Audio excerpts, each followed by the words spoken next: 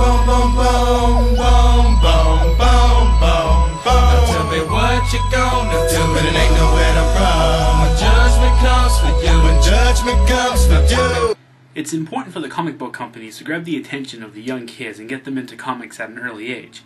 If they don't, the comic book industry will die out with my generation of fanboys. Currently, about 90% of the books that are released are geared more towards the mature readers, although Marvel and DC both have children's lines for the younger audience. Another way to get new readers is through toys.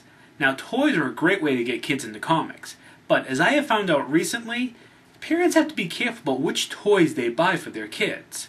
Now, one example would be this Joker. On the surface, this just looks like Joker when he goes on vacation. Reality is, this toy is from the Alan Moore story The Killing Joke. In this tale, Joker shoots and paralyzes Barbara Gordon, then proceeds to strip her naked and take pictures. Now, don't worry though, he had a good reason for taking the pictures.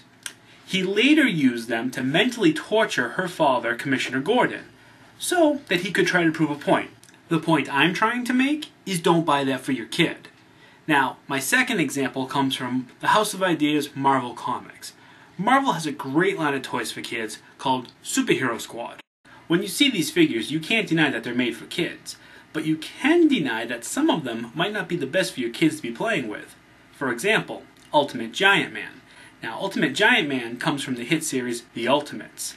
In Volume 1, not only does he smack around his girlfriend, the Wasp, he also tries to kill her with a can of Raid. The best part is, there's been at least three or four different costumes for Giant Man, yet the toy makers decided to use Ultimate Giant Man for their toy. Now this brings us to our final example, which also comes from Marvel's Superhero Squad. This one doesn't take a lot of explaining as to why it's wrong for a child ages 3 and up to have this toy. Let me give you a few clues though.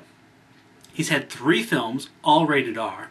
His family was brutally gunned down by the mob, and he enjoys solving his problems with guns instead of words.